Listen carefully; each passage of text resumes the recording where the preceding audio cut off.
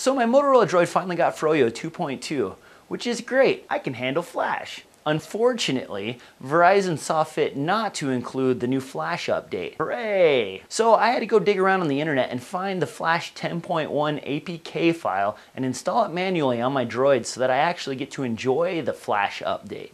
Now that I've got it running, I thought I'd give you a quick demonstration of how it's turning out so far. Let's start with CNET since it's one of Adobe's Flash optimized websites. Also, we're taking a first look at Kaspersky Internet Security 2011. This year's update, not gigantic, but you know what? It's good solid security. All As you can see, there's a little bit of lag between the feedback of play and the actual play on the screen, and there's a little bit of stutter in the video. I'm David Katzmaier, Senior Editor at CNET, and this is the uh, Vizio XVT3 SV series. It's the 55-inch version right here. There's also a 47 and a 42 in the series. This review will apply to all the screen sizes. This is Vizio's flagship 2D TV. As you can see, the screen controls are a little bit hard to operate, but eventually they pop up. Also, notice the lag when I hit stop. It takes a little bit of time for the video to actually catch up. Homestar Runner is one of my favorite old school cartoon flash websites, so let's give that a try on the Motorola Droid. It seems like the Flash player works a lot better on this less graphically intense Flash website.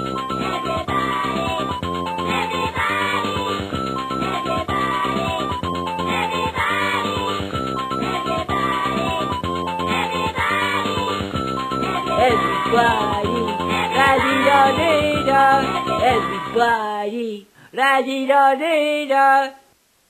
If you look up in the top corner, I've got Wi-Fi enabled. That's why these are loading so fast. I don't think they load quite as fast over 3G. Dune.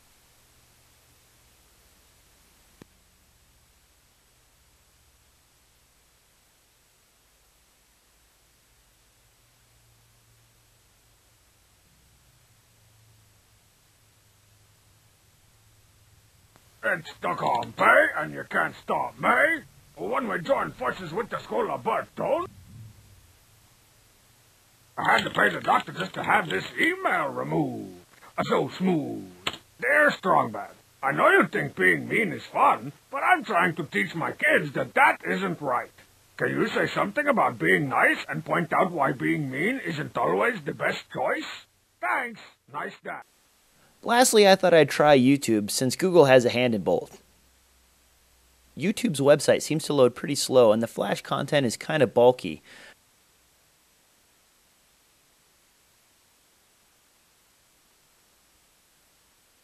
It seems to want to bring up the web browser option whenever you select a YouTube video.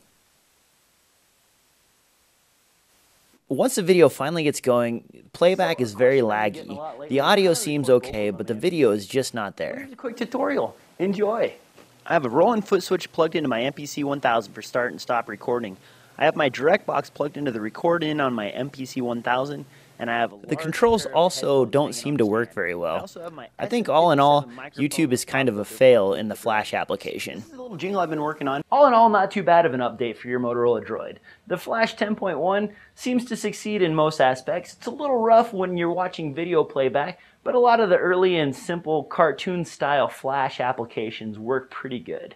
Uh, hopefully there's more updates in the pipeline and the Motorola Droid won't be forgotten. As always, thanks for watching. And if you like this content, please subscribe.